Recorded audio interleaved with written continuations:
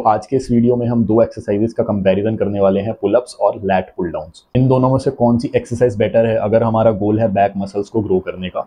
तो चलिए वीडियो शुरू करते हैं.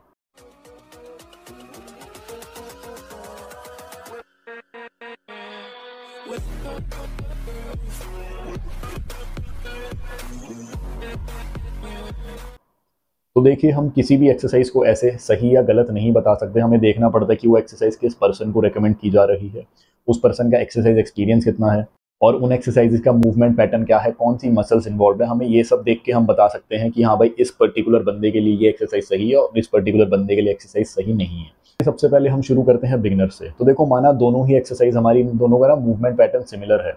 बस फ़र्क इतना है कि एक में हम वेट्स के साथ मशीन में कर रहे हैं और एक में हम खुद का बॉडी वेट पुल करते हैं। बट जो मूवमेंट हो रहा है वो आप इन वीडियोस में भी देख सकते हैं, पूरा सिमिलर ही होता है।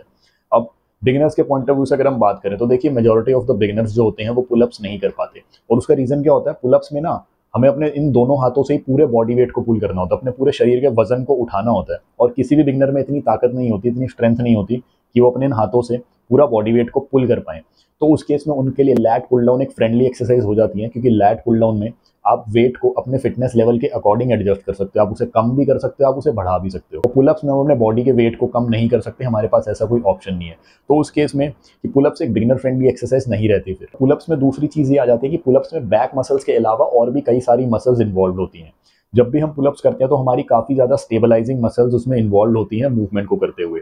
बॉडी को स्टेबल रखने के लिए, ताकि हम जब ऊपर और नीचे जा रहे हैं पुलअप्स करते हुए तो हमारी बॉडी स्टेबल रहे इधर उधर झूले ना। तो उसके लिए हमें अपनी कोर मसल्स को भी इन्वॉल्व करना पड़ता है, ताकि बॉडी स्विंग ना करे, हम मोमेंटम का यूज़ ना करें रेप्स को परफॉर्म करते वक्त। तो देखिए मसल को जब ग्रो करना होता है ना तो उस मसल को फेलियर तक हिट करना होता है। हमें उतने रेप्स परफॉर्म करने होते हैं कि हमारा वो मसल उसके बाद और रेप्स ना कर पाए। इसे कहते हैं कि फेलियर रीच करना। तो मसल ग्रोथ और मसल हाइपरट्रॉफी के लिए फेलियर तक रीच करना ज़रूरी होता है। बहुत से लोगों के साथ ऐसा होता है, जब वो पुलअप्स करते हैं ना तो उनकी स्टेबलाइजिंग मसल्स जो होती हैं, वो पहले फेलियर रीच कर जाती हैं बैक मसल से। बट जब हमारा गोल है बैक मसल्स को ग्रो करने का तो जब बैक ही फेलियर रीच नहीं कर रही तो फिर फ़ायदा कोई नहीं हो रहा उस केस में पुलअप्स को करने का, क्योंकि पहले ही हमारी कोर मसल्स और बाकी सभी स्टेबलाइजिंग मसल्स जो हैं वो फेलियर रीच कर जाती हैं। तो उस केस में कोई फ़ायदा नहीं होता। और जब वो स्टेबलाइजिंग मसल्स फेलियर रीच करती हैं तो हमारी बॉडी स्विंग करने लगती है, झूलने लगती है। और उसके बाद फिर वो बैक को उतना इफेक्टिवली टारगेट नहीं करती।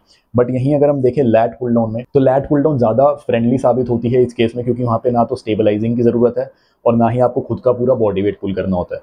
तो बिगिनर के पॉइंट ऑफ़ व्यू से देखें या फिर हम एक उस बंदे के पॉइंट ऑफ़ व्यू से देखें जिसे पुलअप्स नहीं करने आते तो उसके लिए लैट पुल डाउन ज़्यादा फ्रेंडली एक्सरसाइज होती है। No doubt pullups is one of the best exercise to build back muscles but इस केस में आप खुद सोच के देखिए जिस बंदे को स्पेसिफिकली बैक मसल्स ही ग्रो करनी है, वो अपना इतना ज़्यादा टाइम डेडिकेट करेगा पहले पुलअप सीखने में तो उस मूवमेंट में अपनी स्टेबलाइजिंग मसल्स को बेटर करने में तो बहुत ज़्यादा टाइम कंज्यूमिंग हो जाता है और उसके लिए टाइम वेस्ट भी साबित हो सकती है ये एक्सरसाइज अब बात करता हूँ उन लोगों की जिन्हें पुलअप्स करने आते हैं।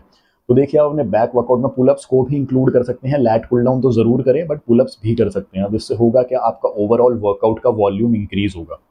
और मसल हाइपरट्रॉफी मसल ग्रोथ के लिए आप जितना ज़्यादा वर्क कर रहे हैं फेलियर तक रीच कर रहे हैं, उतना ही बेनिफिशियल है आपकी मसल ग्रोथ के लिए। और तीसरा मैं उन लोगों की बात करूँगा जो लोग 10 से ज़्यादा पुलअप्स कर लेते हैं ना, उन they should start doing weighted pullups और उसमें धीरे धीरे प्रोग्रेसिव ओवरलोड करें।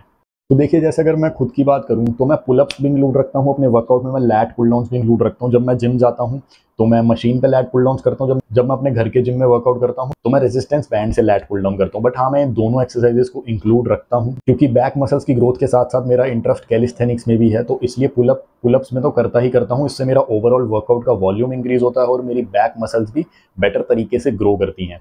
But it's totally up to you अगर आपका सोनली गोल है सिर्फ़ और सिर्फ़ बैक मसल्स ग्रो करना तो लैट पुल डाउन आपकी पहली प्रायोरिटी होनी चाहिए रैदर देन पुलअप्स तो अगर आप पुलअप्स कर लेते हैं तो अपना वर्कआउट वॉल्यूम बढ़ाने के लिए आप उसे इंक्लूड कर सकते हैं। अपने वर्कआउट में that's totally up to you तो ये था दोस्तों आज का वीडियो एंड आई होप आप लोगों को ये वीडियो अच्छा लगा होगा। तो प्लीज़ इस वीडियो को लाइक करें शेयर करें और मैं मिलता हूँ आप लोगों से अपने अगले वीडियो में।